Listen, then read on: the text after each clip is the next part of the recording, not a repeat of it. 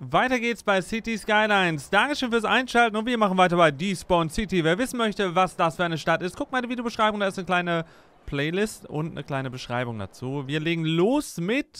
So, das war letztes Mal unser Anliegen. Wir haben hier hinten diese ganze Stadt entwickeln lassen, beziehungsweise groß gemacht. Jetzt sind auch die Einwohner krass gestiegen. Und hier ist halt immer noch ein bisschen Stau. Das lassen wir jetzt aber erstmal. Wir gucken mal, wie es sich entwickelt, weil zum anderen würde ich fast schon sagen, dass wir die Straße wieder ein bisschen attraktiver machen für die Autofahrer, weil die hatten wir ja vorher ein bisschen unattraktiv gemacht, weil hier zu wenig oder zu viele hergefahren sind. Vielleicht machen wir hier die Straße ein bisschen schneller, nehmen die Maut weg und gucken mal, was dann passiert.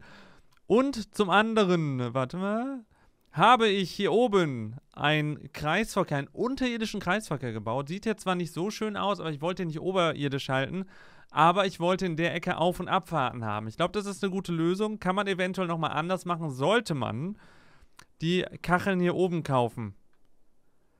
Aber eigentlich, obwohl das echt schlecht wäre, hier unten die Kacheln zu kaufen, wäre das die bessere Wahl. Weil mal angenommen, hier wäre eine riesige Stadt, kann man da nicht so gut hin. Also klar, man kann dahin, aber man müsste alles umbauen, weil man halt von der Autobahn aus immer Wege hier rüberfahren müsste. Oder wir müssten irgendwo eine Autobahn, hier vielleicht ein Vierer-Autobahnkreuz machen, wovon dann eine hier runtergeht. Würde auch gehen, wäre aber krass. Schreibt ganz gerne mal eure Meinung dazu in die Kommentare.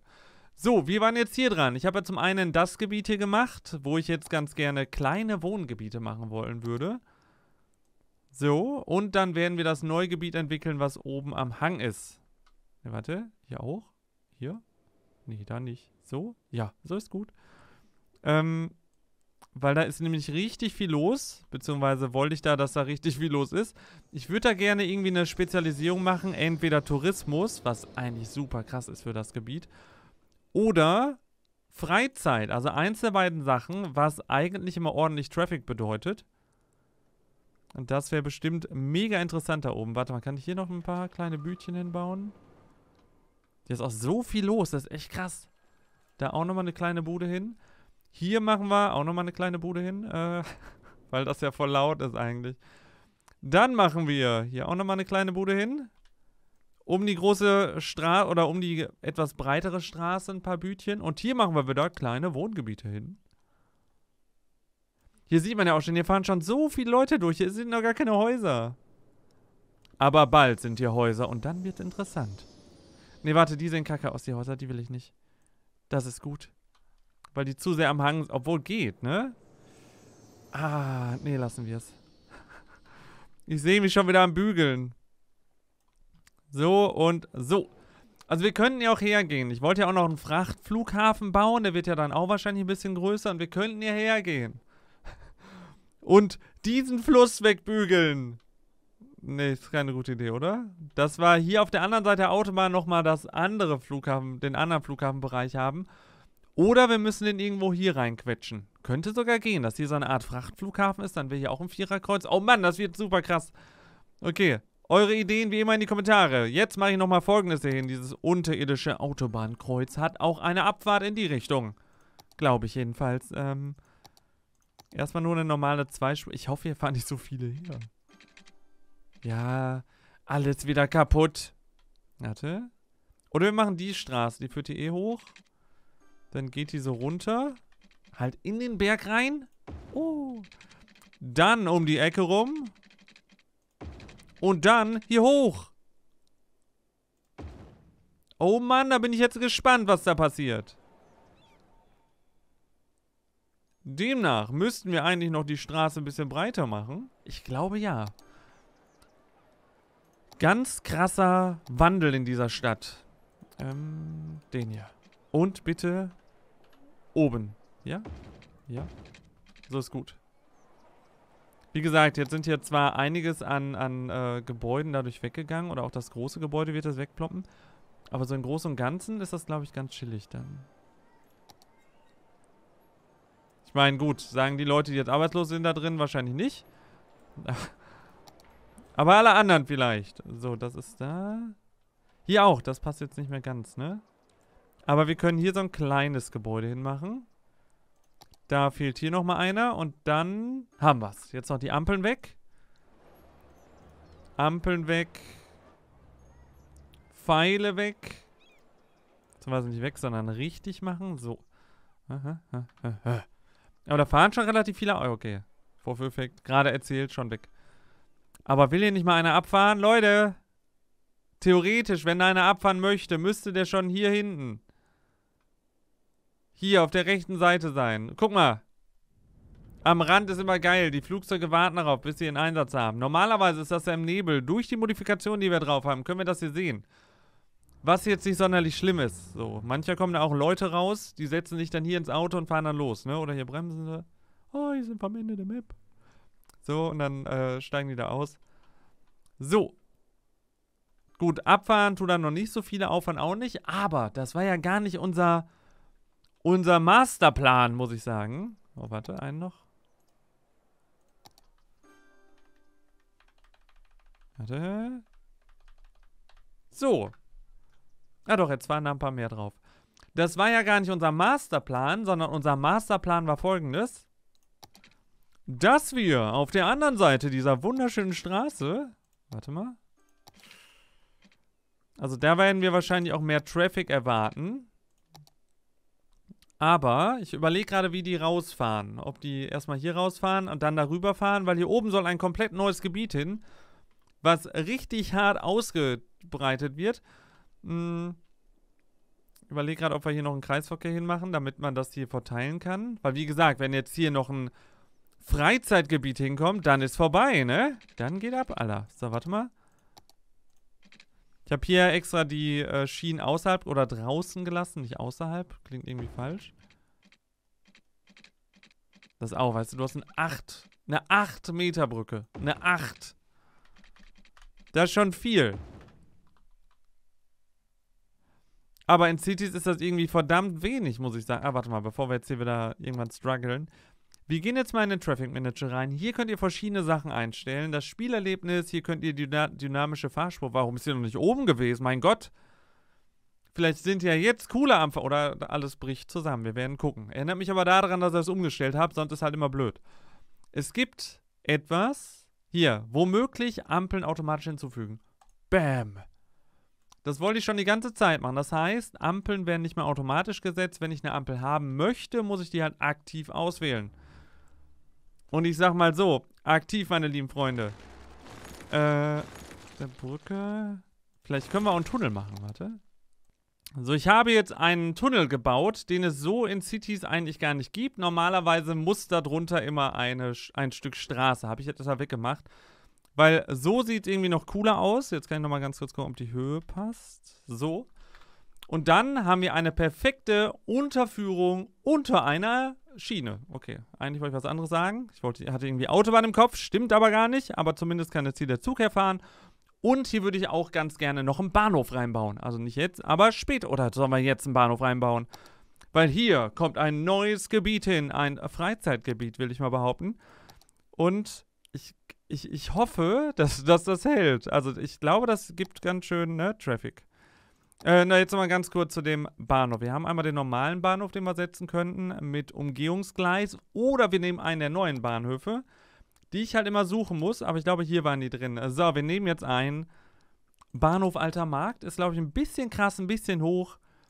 Dann Transportknoten ist vielleicht auch ein bisschen krass, ist ein Endbahnhof, wo sechs Spuren sind. Habe ich noch nie richtig benutzt, leider, so Riesenbahnhöfe schon, aber nicht so, wie man es eigentlich machen sollte.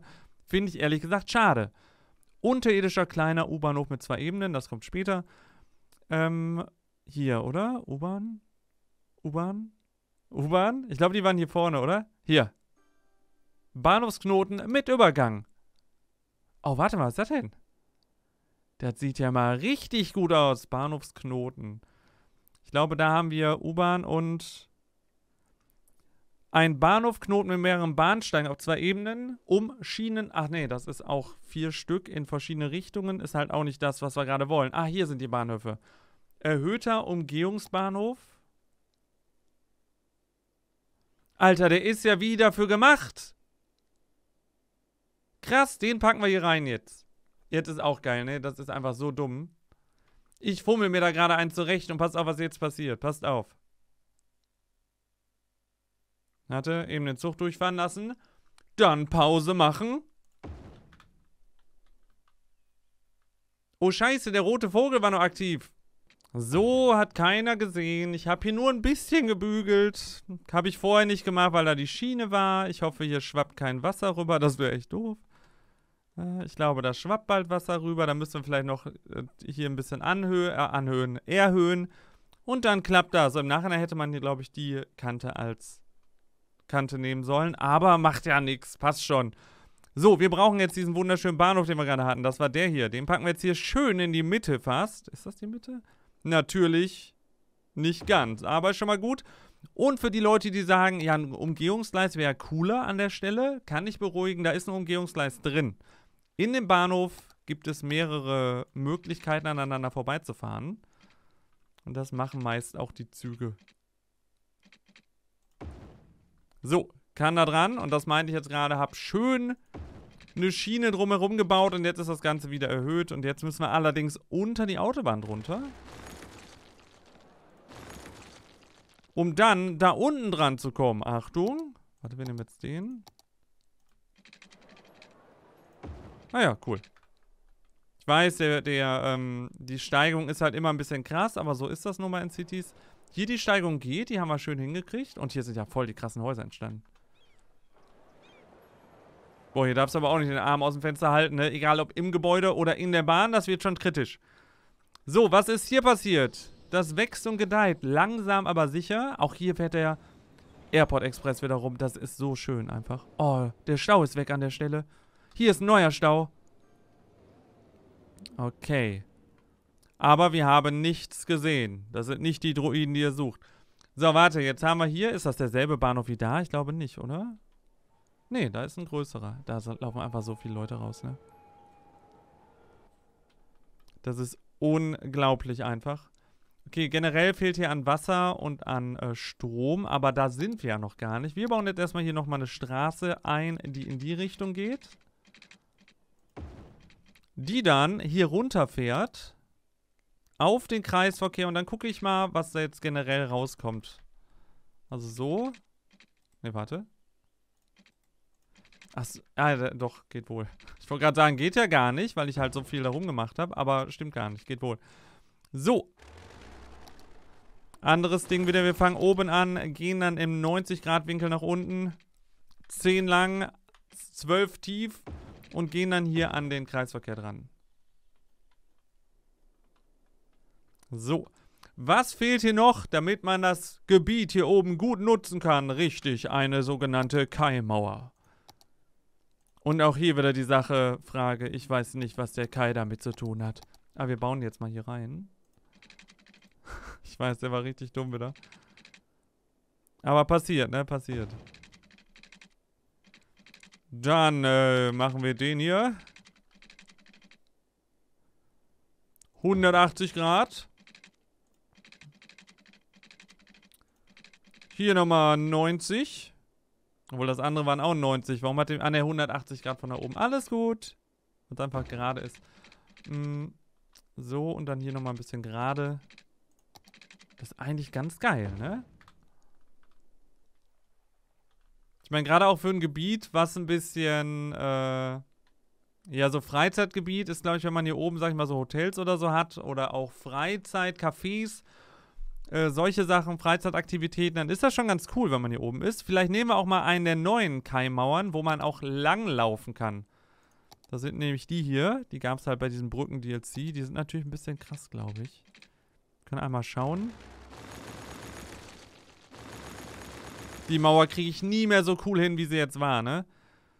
Hm. Nämlich so. Also, auch wenn da kein Geländer ist. Und normalerweise wäre das ja, glaube ich, nur im Bereich von Wasser. Dann wäre das echt schon cool, oder? Vor allem, weil da auch schon ein Weg drin ist. Ich glaube, das behalten wir so bei. Ich muss nur mal gucken, dass das parallel zu dem ist. Das werde ich jetzt gleich nochmal offstream machen. Und wenn ihr nächstes Mal einschaltet, ist hier eine wunderschöne Mauer am Start. Oder wir machen jetzt schon mal die Straße dahin. Damit wir dann nachher das Ganze daran ausrichten können. Also wenn man so macht. Warte. Die Gebäude müssen ja davor auch noch passen. Und hier haben wir dann nachher auch noch so ein kleines Grid. Kleines Grid ist gut. Warte Ich baue mal ganz kurz das Grid auf. Griddly diddly. Ne, da wäre eigentlich schon die große Straße, ne? Äh, die hier. So.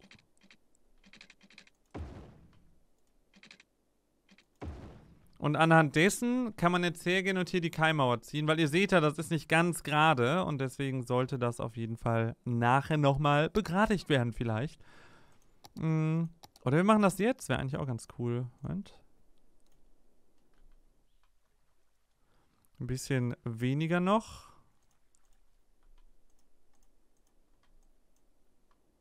So und ja, zumindest so ein bisschen die Kante ist hier vorne raus. Kann man nachher nochmal machen, wenn die Keimau einmal steht.